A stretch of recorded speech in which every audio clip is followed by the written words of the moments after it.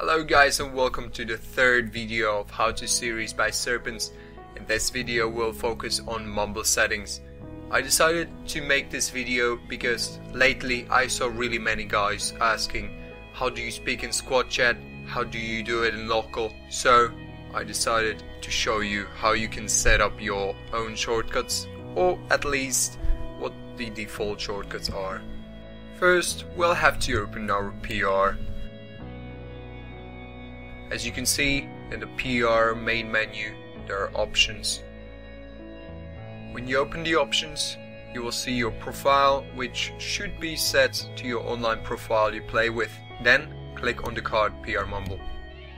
Here you can see different bindings and as you can see right here, it might cause some troubles when you try to change them by left clicking your mouse and actually selecting your left mouse button.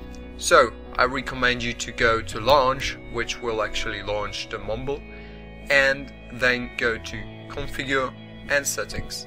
Do not change anything in here because it is automatically set to your maximum quality, but you can go to shortcuts and change those. After you go to shortcuts, you will see the key bindings, everything from local to squad chat to squad leader chat to commander chat. This is how it looks like. In the right bottom corner you will see a blue icon, green icon, red icon or yellow icon. Blue icon stands for local chat. Green icon stands for squad chat. Red icon stands for specific squad leader chat or a chat to all squad leaders. Yellow color stands for chat directly to commander. That was how it looks like when you are talking to somebody. This is how it looks like when somebody is talking to you on any of these channels. Also, one more thing you can get from Mumble are these four icons here. The first icon stands for you speaking. It is white because it is from the general point of view. Then it is the microphone muted icon where you have your microphone muted in Mumble and people do not hear you. The third icon is when you have muted Mumble. That is, you do not hear people and people cannot hear you because you have your microphone muted automatically. The last icon stands for disconnected from Mumble. In that case, there is something wrong with your Mumble and you should restart it.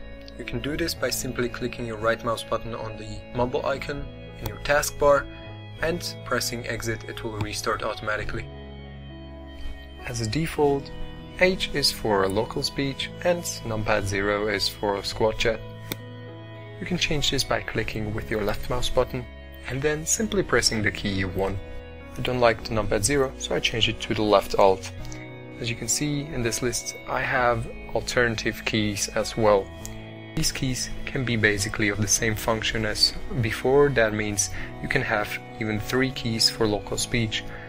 At the beginning, you should be able to see key or M. Key stands for keyboard, M stands for mouse. As I showed you before, the key for general squad chat, that is, to all squad leaders, is a multiply. After that, pretty logically, numpads from 1 to 9 stand for talking to squads from 1 to 9. That is, if you press number 1, you will talk to squad 1. If you press number 2, you will talk to squad 2, etc. If you are a squad leader and you would like to talk directly to your commander, you can press divide and you'll talk directly to him. Also, if you press multiply, all squad leaders and commander will hear it. You can also add other keys. As you can see right now, I have deafen self. This is good for, for example, if you are on TeamSpeak and you don't hear anything on TeamSpeak, so you deafen yourself in the game. I have binded this function to insert. How to add such key? Simply go ahead and on the bottom press add and a new line with unassigned should pop up. Firstly, press unassigned and define what would you like the key to do. After that, go to shortcut, click with your left mouse button and simply press the key you want. How to remove keys? Basically select a line and press remove. When you're done, don't forget to press apply and OK. Now you can close your mumble. When you close your mumble, there will be still the table of the primer options. Now you can press apply or close and this really doesn't matter because you pressed apply in the previous table. Now you can go ahead and click play and enjoy your Mumble. Thank you very much guys for watching this video. I hope you liked it. If you did, please leave a like or comment and subscribe and I'll see you in the next video. Have a good one.